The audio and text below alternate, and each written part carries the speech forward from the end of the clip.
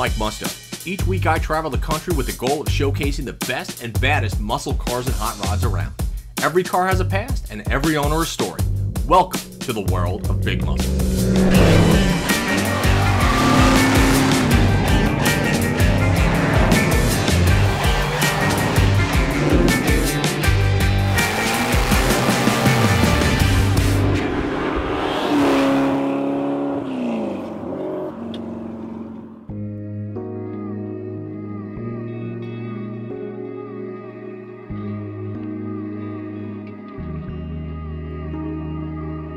Magazine clippings, tools, repair manuals, photographs, telephone numbers, scale models, a differential, and of course, an extra engine. These are just some of the things we found when we visited the garage of Chuck Rust. Now, on their own, these items wouldn't raise an eyebrow to most folks, but collectively and in this setting, they set the stage for one of the most die-hard car guys we featured to date. The difference, however, between Chuck and the rest of the automotive populace, though, is that not only has he been racing his whole life, both on two wheels and four, but he had the innate ability and understanding to see how the Chevrolet Corvair, a car once deemed unsafe at any speed, can not only be improved upon, but with some extra hardcore modifications built into one hell of a performance machine. It all started, I, I had an El Camino and I was over in Manhattan Beach and, I, and uh, it had a healthy 350 in it and I'm coming off of the light and uh, right next to me is a white Corvair, which I had never even thought of Corvairs. I always had big Chevys. And so uh, I pulled ahead and we're going kind of up this uphill. He pulls up next to me and this is the key thing that really got me.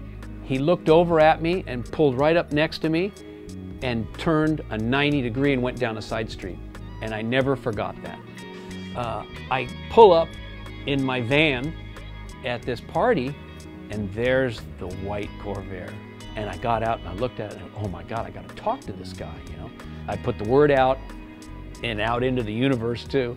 And in two weeks, this car, a friend of mine called me and said, hey, I got, I got a car you got to look at. And it was a complete basket case, all part the guy had blown the transmission, but he rebuilt it and put it together and stuff. Anyway, long story short, I would sold my dirt bike for $2,500. How much did he want for this car in its form? $2,500. It was perfect. Sometimes we come across a car that we look at and we go, I, I gotta film that. We have to film that. So a couple of weeks ago, Zach and I were walking through a car show and we happened upon this. We are right now behind the wheel of a 1965 Chevrolet Corvair Crown Corsa. This is something that I, I, you know, I've read about them, but I've never actually seen before until we, we kind of stumbled upon this. What Chuck has done is actually taken one of the worst cars in history, and I'll be honest with you, made it one of the coolest that we've driven to date on Big Muscle. Think of it like this. The flat six engine that used to hang over the rear wheels is gone, and in its place is a mid-mounted 283 cubic inch V8 that revs to the moon and sounds glorious. Now, I've driven a Corvair before. In fact, I raced one in the 24 hours of the Lemons. It was the biggest POS I've ever driven to the point where you would step on the brake and you would turn left at the same time because the car just pulled to the right so bad. This car, holy crap, did he sort this thing out. I mean, you could bring it in, downshift, right? Pitch it into the corner and then just throttle it around. You've got no power steering, so you feel everything coming through and roll in and just let it rev and rev and rev and rev. Oh my God, now you gotta realize, it's not a massive, massive horsepower car. I mean, it's only about 310 horsepower, but it's the way that you can utilize that power that makes this car so good. He's figured out the handling of this car. He's figured out the way to make it work. He's, he's dialed it into a point where Guys, I could be driving a Porsche Cayman right now, and I got news, I wouldn't be having as much fun. This car is a visual and mental assault to the senses. I've got this massive race mirror up here. I can see everything that's going on. Not only that, I can hear everything that's going on because of the big V8 behind me. And holy shit, is it unbelievable.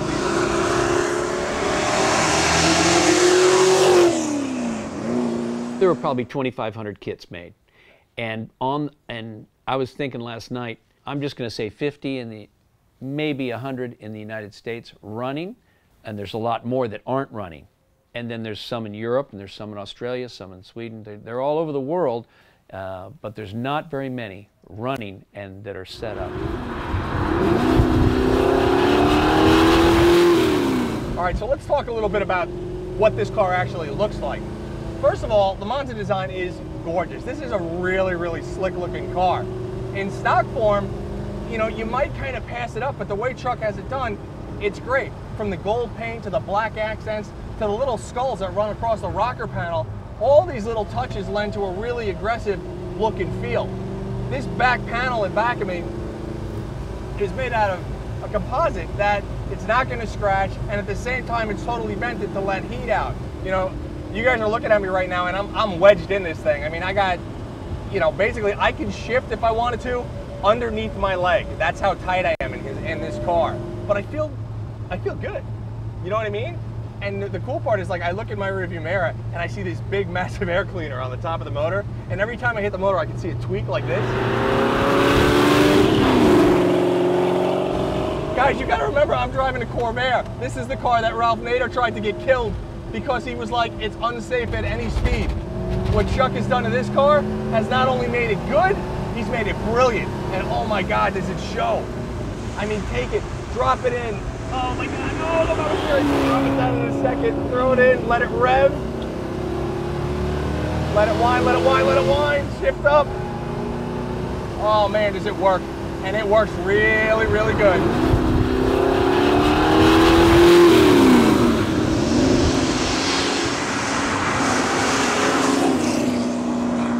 as far as balance and everything, it, it's it's near near perfect balance. It's a little bit heavier in the back, and uh, it's got a, a I believe 55-45, and uh, I put I had to put big brakes on the front. I put uh, Corvette disc brakes from like a 78 Corvette.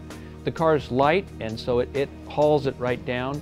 Uh, sway bars, front and rear which are available, but obviously a lot of these things are harder to find now.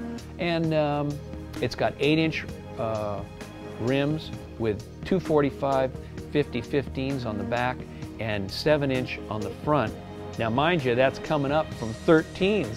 The stock is 13. Some had 14s.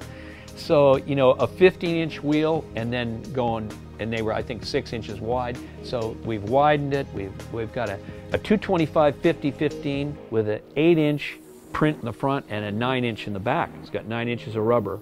I've lowered it, I've cut the coils, and got it got it down, and uh, so that that seemed to be the hottest setup.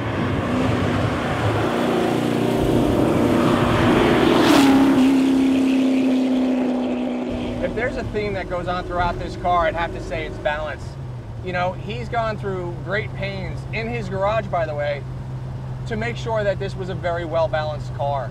Everything was done for a reason, be it the large race style mirror so you can see all around you, from the pressure of the clutch to the, you know, to the bump stop on the bottom of the clutch, to the gauge package, to the mirrors, to everything that's gone into this car to make it Chuck's own personal idea of what the perfect Corvair is. Now, you know, you got to remember also that this is the car that came before the Chevrolet Camaro.